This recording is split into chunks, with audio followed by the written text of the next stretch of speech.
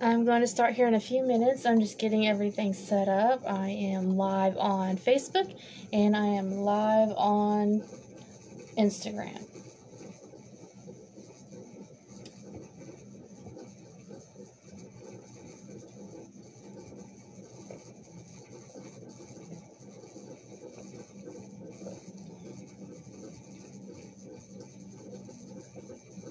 Hey, Tori.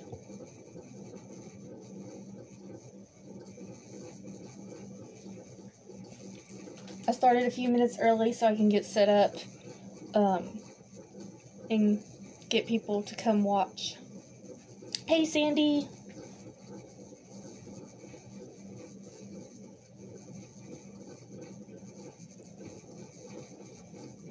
So, this is my first uh, Metaphysical Monday Madness uh, live video. I'm live on Facebook, right there. And I am live on Facebook, I mean Instagram right here.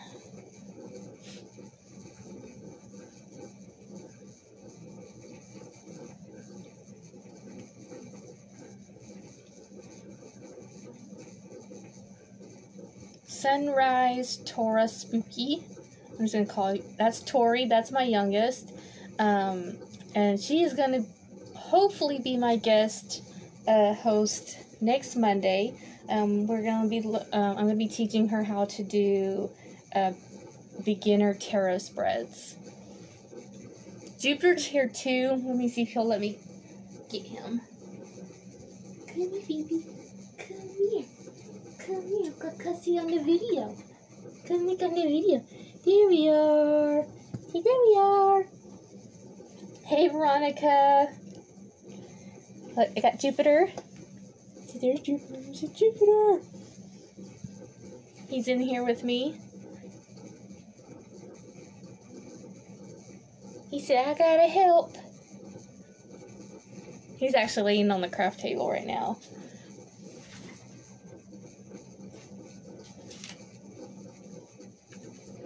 Alright, I don't know who is going to join us, but I'm to go ahead and start.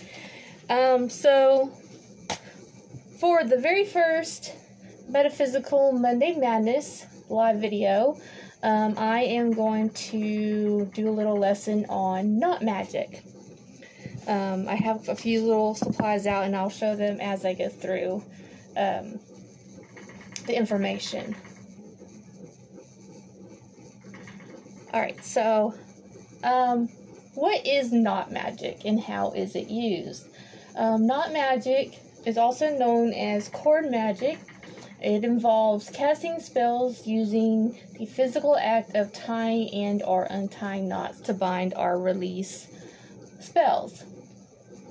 Knot magic requires a piece of string, um, at which we use choose to use rope, cord, uh, yarn, uh, floss, embroidery floss, um, wire, chains, vines, sinews, scarves, twine, thread, and ribbons. I also have some like lace ones.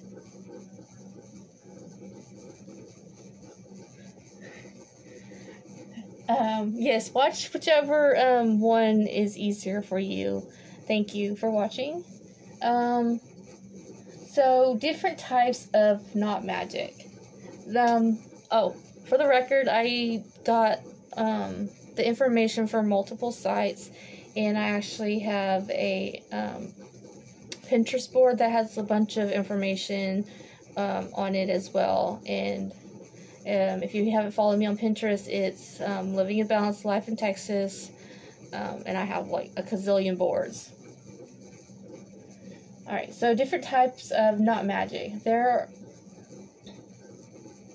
there are as many different specific methods for casting a magic spell as there are magic users. The defining factor is that at least one knot is tied in the course of the spell, and the knot serves as a representation or container for the spell. Knot magic spells are often binding spells, as the symbolism of tying a knot suits the symbolism of restricting or controlling activity. One may use the tying of the knot to symbolize tying the hands of an individual whose actions are helpful or binding someone's mouth shut. For these spells, a piece of string from a person's clothing or even a braided lock of their hair can be used. But binding spells aren't as often used against individuals as ideas and natural phenomena like the weather, disease, and etc.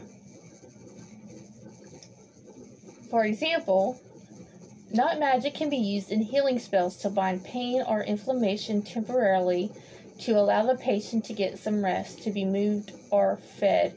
Once this is achieved, the knot can be untied to allow the natural healing process to resume.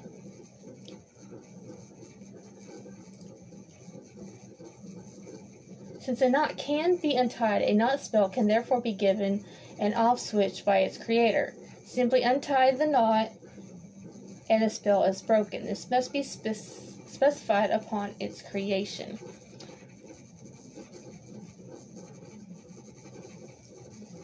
Um, see what else we got. Um, so knot magic has traditionally been used by sailors to bind winds, untying a knot to stir up a wind. Generally, three knots were used. The first, untied, would cause a gentle wind, the second, a strong wind, and the third would release a hurricane. This spell is still in use today. One example I have, oh, one example, the person I got this information from said, um, what um, let's see, I have seen involved going to a high place and speaking a chant declaring the intention of the spell while tying the first knot. Blowing once upon the knot, once tied, and then repeating for each of the three knots, blowing twice upon the second and thrice upon the third. Um, did y'all know that the custom of handfasting is a type of knot magic?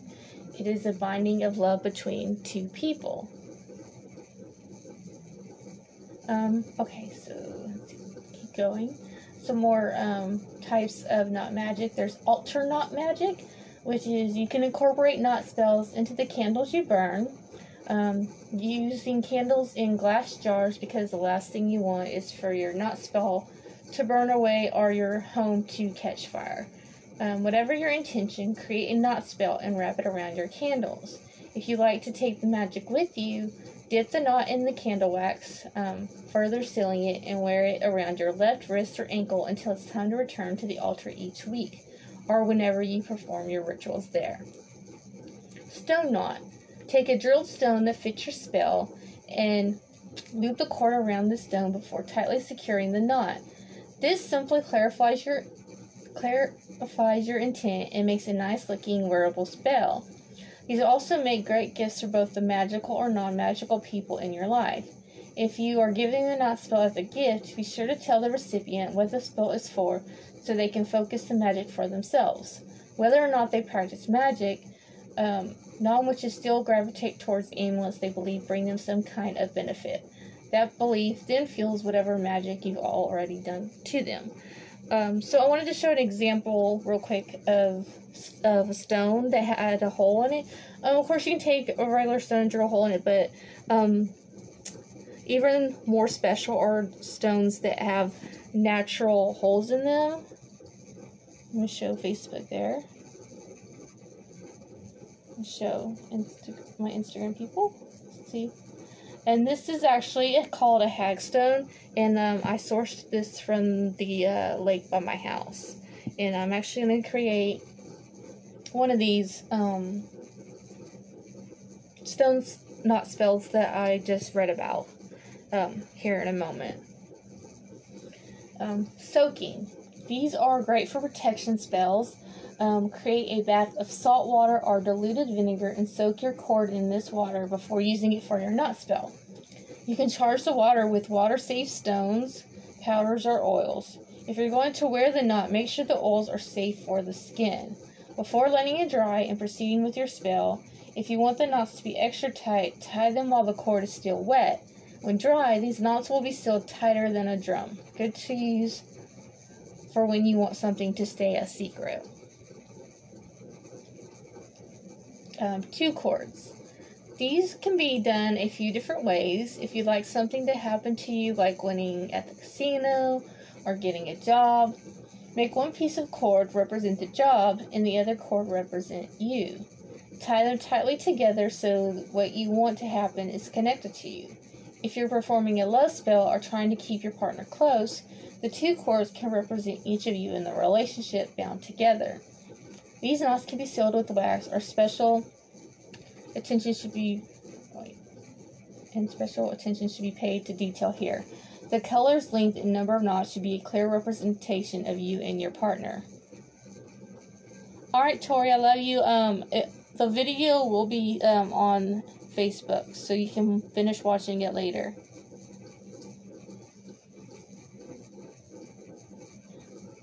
Um, and the next one is a banishing knot. Um, aside from the altar knots, this is what this person uses um, knot magic for most regularly. Knots are binding by nature, and using them to stop someone else's actions is a no brainer. She uses black cord, um, tie it in three knots, focusing on specific reasons why they want the person gone or to stop what they are doing. Then freeze the knot in a small ice cube. Inevitably, though, someone in the, ha- the house will take the ice cube out of the freezer and ask, What is this? Then walk away, leaving the ice cube to melt in the sink. Not good. If you want the spell to be more permanent, go to your local hobby store and buy a tub of resin. Then use this to seal the knot in suspension indefinitely, thus freezing the person from bothering you again. Obviously, I didn't read this before the video, but that's a good idea. Um, using resin as a substitute for the ice. Um, all right, here's another one by the from the same person called "Smoking the Knot." Although I've never tried this personally, many witches run the knot through incense smoke or the smoke of a candle to bless the knot. This can be done before starting any work or as a final step after the spell is complete. If you're giving a knot spell as a gift, this would be a nice touch, especially if the knot is for protection or a gift for a child. Um, a braiding knot. Connecting three or more cords together can be done to bind a family or group of friends together, especially if there are stormy waters on the horizon. Hang it on the front door of the home or in the kitchen as a way to keep the group bonded together to thick and thin. Don't forget to braid in additional cords for your pets. Um, unconventional knots. Just because tradition dictates knot spells should be done using cord or string doesn't mean you should only use this technique. If you're a kitchen witch, bake bread knots or candy knots. If you're an earth witch, use the stems of leaves or strips of bark to make your knot spells. If you're a water witch, dip the cord in water before tying. And if you work with air, blow into each knot to infuse it with your intent. However you work best, you can find a way to work knot spells into your craft so you're more comfortable using them. Burning knots. Knot spells are easy spells to break. You simply untie them and the spell is undone. Of course, if you prefer a more dramatic ending to the spell, you can burn the knot instead. This method can be useful when for when knot spells are supposed to be broken. For example, breaking bad luck, ending difficult relationships, or getting rid of bad energy in your life. Create a knot spell that represents whatever you like to get rid of and then set it on fire. Safely, of course, and bury the ashes. Um, one example of this actually is um, I, that I've done was um, breaking a um, a bond. Um, I had a friend um, that we were we connected on on a bunch of different levels, and then whenever I met my husband and we got married, he came back into my life and was trying to you know reconnect, and it caused a lot of um, issues. So what I did was I did a um, burning of cords um, to sever our connection. Drawing knots. Um, you'll see, usually.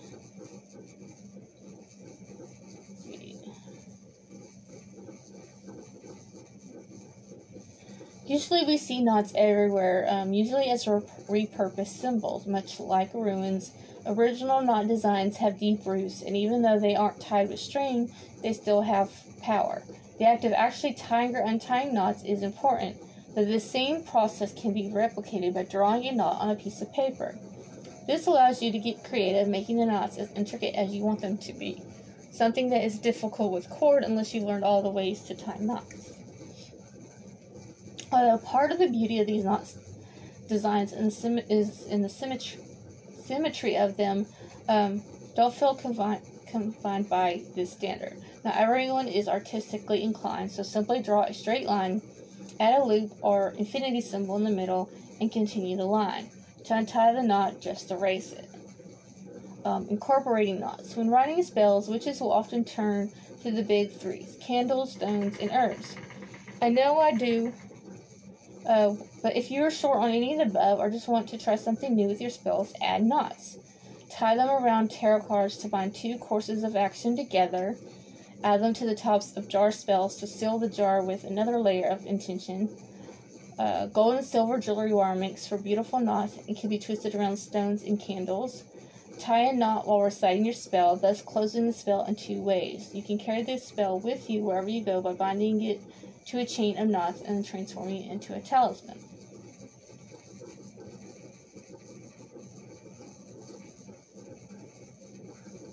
Knot magic for release. As a way to release any unhelpful or unwanted thoughts and ideas, start by thinking about what you want to release. Body issues, anger with coworkers, regret, a tie you have to an ex, or a friendship that are no longer beneficial to you. Knot magic for manifest, uh, mindfulness. Mindfulness is the practice of monitoring and becoming aware of your thoughts through being present in each moment. You can use knot magic to help you recognize the thoughts that are beneficial to you and those that are not helping you. Knot magic for manifestation. I lost my spot. Um, you can use knot ma- magic for positive manifestation as well. The knot can hold on to your desires and wishes before you do this kind of magic. Make sure you are in a calm and relaxed mood. Get into a meditative state by taking several deep breaths and closing your eyes. Another form of uh, knot magic is stitchery witchery. Knot magic can also include certain crafts like knitting and crochet, cross stitch and needlepoint, embroidery, and any form of sewing. The reason this stitching magic is effective is because of the focused work, and if you're well practiced, stitching probably takes little effort and is likely something you highly enjoy. Also, this process is very meditative. Some find it soothes your nerves and creates a field of harmonious energy around you, which can be utilized in manifesting.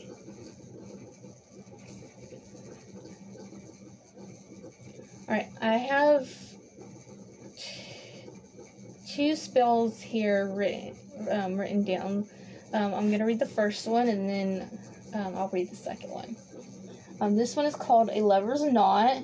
Um, this spell is designed to be made by a pair who are already lovers. It's designed as an activity to bring you together and to remind you of each other when things get rough. Think of it as a magic reservoir of each other's love for when you can't be together or having a spat. Um, here, I'd like to note that this is, could also be used as um, in friendships. Um, basically, it's just to take on a friendship bracelet. Each of you will make a bracelet for the other and place intentions into the bracelet you make. Your intention could be to protect them, to tie the two of you together, or to help solve a particular problem between the two of you. The important thing about this is that both parties participate and have discussed what they want out of the spell. Pick one and get nodding. With each knot that you make, Think and meditate about your intention, but this doesn't need to be a somber thing. Laugh and chat with your lover and really get the love flowing between the two of you. Brace for kisses and stuff are a good idea if you want. Use this as a chance to really get close with your partner. The emotion and energy that you have during this is going to stick, so no being mad at each other or arguing or nitpicking or talking about the dishes or anything of that nature. Take this time to just be in love. If you want, when you finish making the bracelet, you can let it charge in sunlight or moonlight and say an incantation or prayer to a deity over it. Whatever works with your practice. Now swap and wear your new lover's knots. For any reason you wish to undo the spell, each knot in the bracelet must be broken. This can be done by going through and untying each one, by cutting each one, or by burning the entire bracelet. A single knot left unbroken will still retain its power. Like I said, despite being named lovers knots, the spell can be used by any pair of people or even a group. Friends, siblings, parents with their children can all modify the spell to their use. In a group, you can have a rotation of sorts. Each person begins a bracelet making an inch and then passes it in one direction around the circle, where the next person will make another inch and continue passing it. Each bracelet will have to be made in part by every member of the group.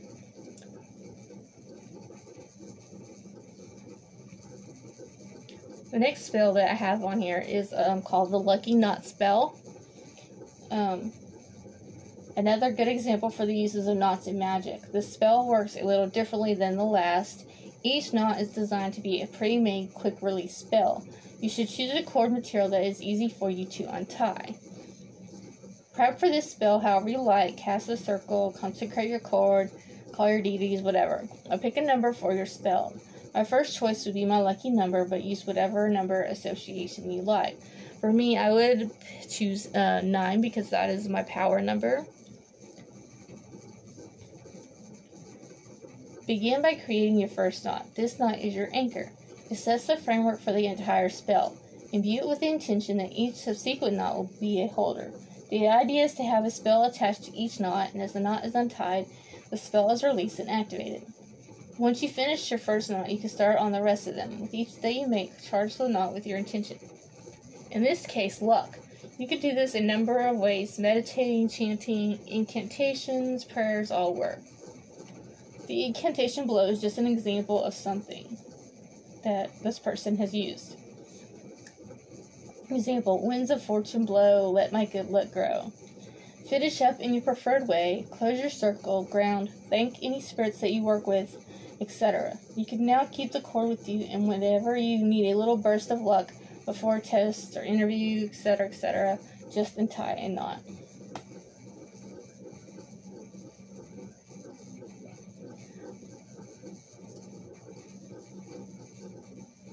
Alright, so when I think of knot magic, um, there's all those ideas, but then there's also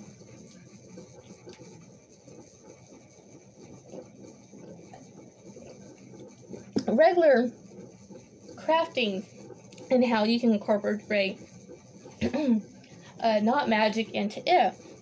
For example, I have some ideas fit written down here for uh, crochet and knitting. Um, you can crochet a small bag for your crystals, knit a blanket made with love for someone in your family or your partner, knit a custom tea cozy for your morning cup, um, crochet a doll, uh, make a bag for your pendulum, runes, tarot, etc. Crochet a basket for your crystals to live in when you charge them outside. Knit a scarf, even put sigils of constellations or magic symbols for extra power crochet socks with sigils stitch on the bottom to help you move silently. Um, knit a hat with sigils for mental clarity and warmth. Crochet a cozy plant pot cover for your plant babies. Um, and then now there are some fun sewing ideas for not, knot magic. Uh, sew a bag for your vials and bottles. Um, make a small spell bag. Um, you can uh, to fill with herbs and stuff. Um, stitch a meditation blanket. Um, you can even alternate the colors of threads with chakra colors. Um, sew a cover for your grimoire. Then hand sew sigils in with the same color to keep prying eyes away. Sew a pillow for your pets to sleep on and have peaceful dreams. Make a cover for your altar. Um, choose a fabric you associate with cleansing or keeping away negative energy. Hey Melinda. Um, I'm just finishing up uh, on the Knot Magic um,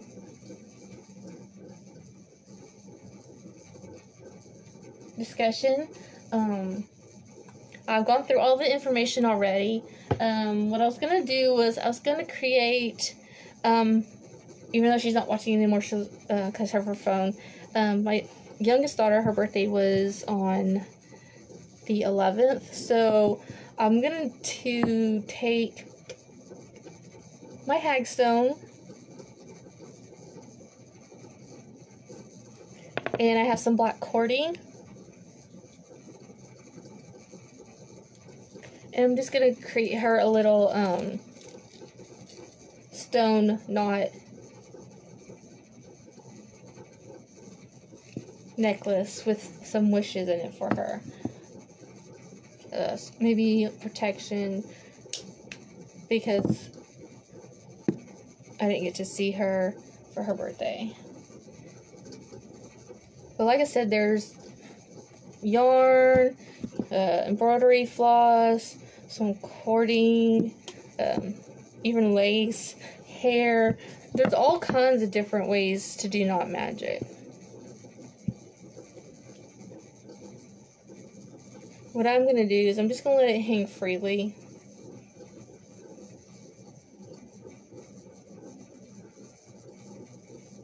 And then at the end, I'm going to do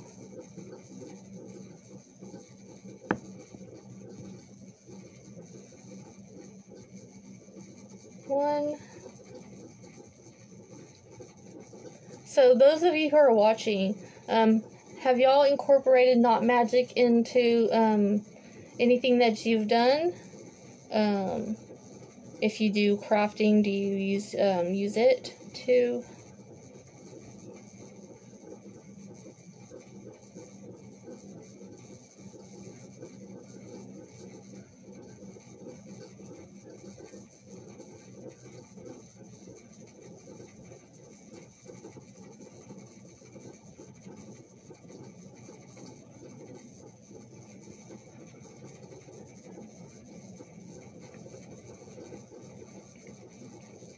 do you feel that if um, now that you know more about it that you would incorporate it in?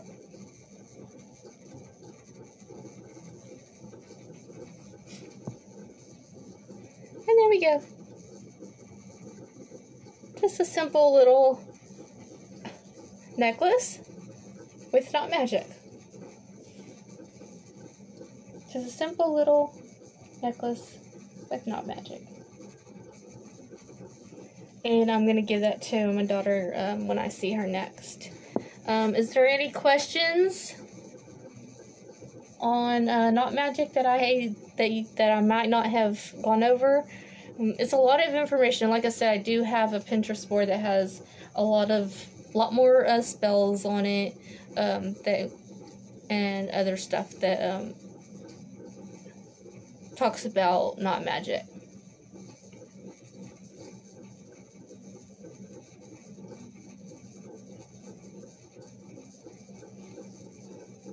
I know I went through the information pretty quickly, but it will be um, saved on my inst. I mean, not my Instagram. It'll be on Instagram for 24 hours. It'll be on my Facebook page though. Um, I'm going to make sure it saves on there.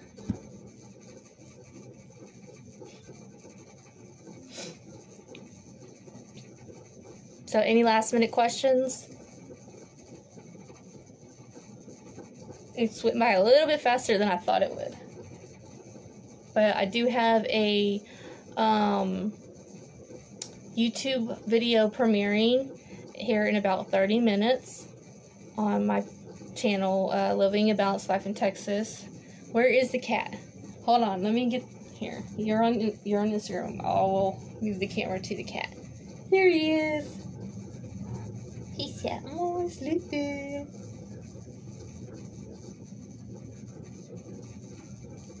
People sleeping.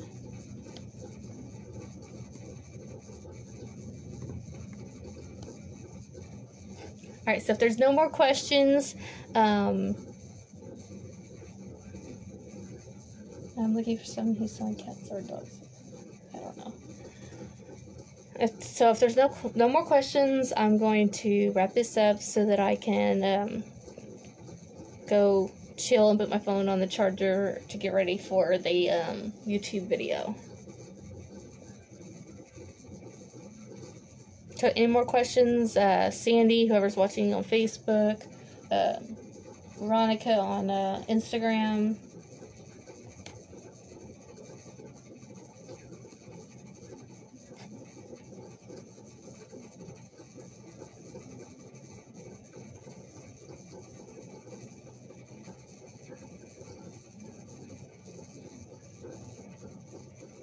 Alright, guys, um, that's it for this week. Uh, next week, like I said, my youngest daughter is hopefully going to be my guest host, and I am going to be teaching her some beginner tarot spreads because she has her own deck and she wants to uh, learn more than just the three. Uh, yes, Veronica, I am going to make some more live stream videos. I have a video um, premiering in 30 minutes. Hey, Andrea, I'm just wrapping up the video. But it will be posted so you can go back and watch it. Blessed be Sandy. I'll see if you um, go to my YouTube video.